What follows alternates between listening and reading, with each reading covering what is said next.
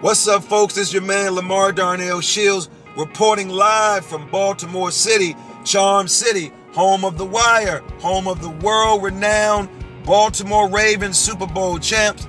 On my way to Anne Arundel County, to North County High School to kick off the Swag Series. Society Wants a Gentleman, the Swag Series, Society Wants a Gentleman. The national tour kicks off Sunday uh, in Connecticut, in Hartford, Connecticut, at an undisclosed high school. I can't mention the high school where we're going to be.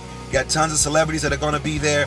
We're going to be there for the entire month of April. The National Swag Tour Society wants a gentleman, but it kicks off today in Anne Arundel County at North County High School. I'm going to be working with a small group of young men talking about life, talking about leadership, talking about being a gentleman, talking about making great choices, talking about moving on to do some awesome things.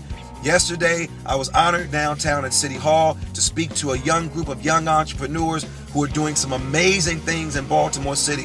Young people who have started clothing lines, young people who have written books, young people who've started skating parks, young people who have created mentoring programs, young people who are creating national movements across the country. They were honored downtown by the city council. I was excited to be the keynote speaker. It felt good being downtown with a group of young entrepreneurs who are not allowing anybody to say that they cannot do it. I'm teaching young people to dream big and to think big. So I'm grateful for today. I'm going to be around a bunch of young folks who I'm sure are going to inspire me like they always do.